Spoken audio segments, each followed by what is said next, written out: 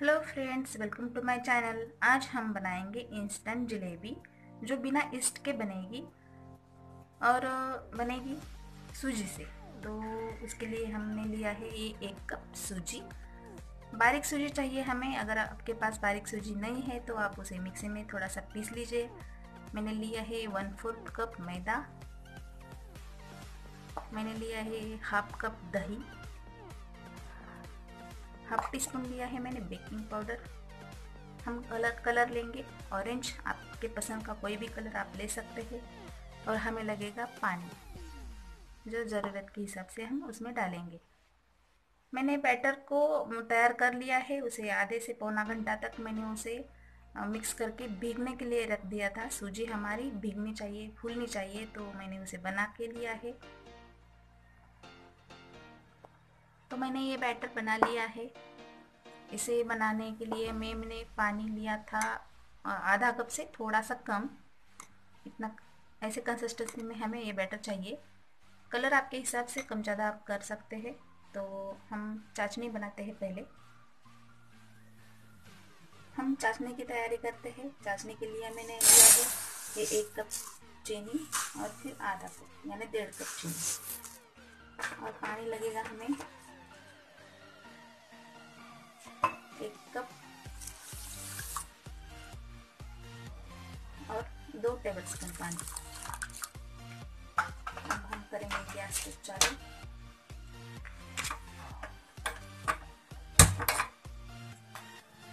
और चीनी घुलने तक हमें इसे पकाना है। अब हम उसमें डालेंगे दो इलायची, जिसे मैंने थोड़ा सा कूट लिया है।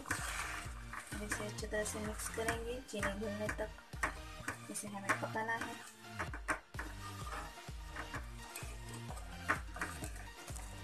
अब हम उसमें आधा नींबू रस डालेंगे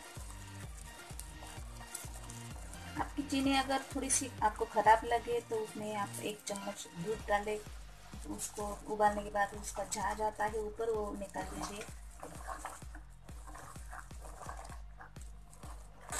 हमें एक तार की चाशनी बनानी है हमारी चाशनी हो गई है, मैं इसे निकाल लेती हूँ साइड कर देती हूँ। अब हम बैटर में बेकिंग पाउडर डालेंगे, इसे अच्छे से मिलाएँगे। जब ही हम जलेबी बनाएँगे, तभी बेकिंग पाउडर डालिए।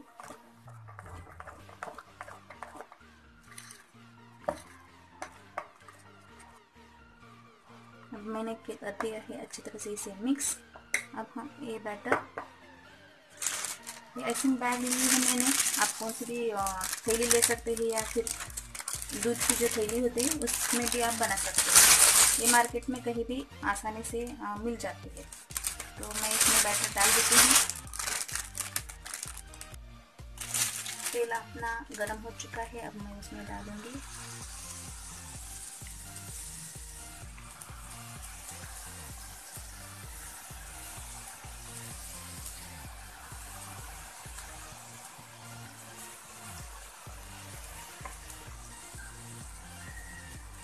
दोनों साइड से इसे अच्छी तरह से कुरकुरा होने तक तलेंगे इसी प्रकार की मैं सभी बना लेती हूँ इसे तेल से निकाल के चाशनी में हमें डालना है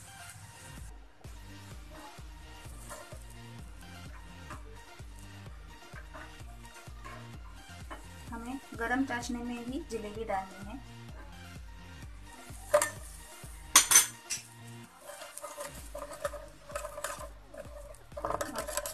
से एक मिनट तक इसे हमें इसमें ही रहने देना है।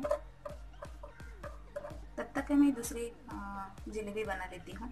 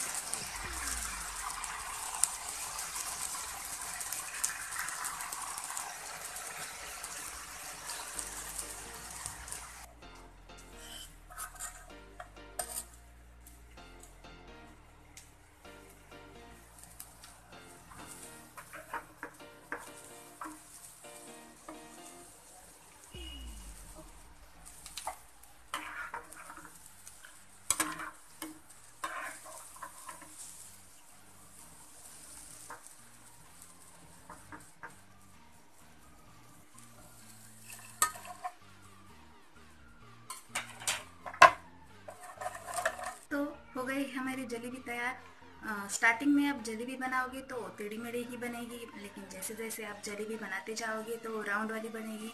और बीच में चाशनी भी आपको गर्म करनी पड़ेगी कि पूरी चाश पूरी पूरी जलेबी बनाते समय ठंडी हो जाती है चाशनी तो एक बार उसे गर्म कर लीजिए। बहुत ही कुरकुरी बनती है, मैं तोड़ के दिखाती हूँ आपको।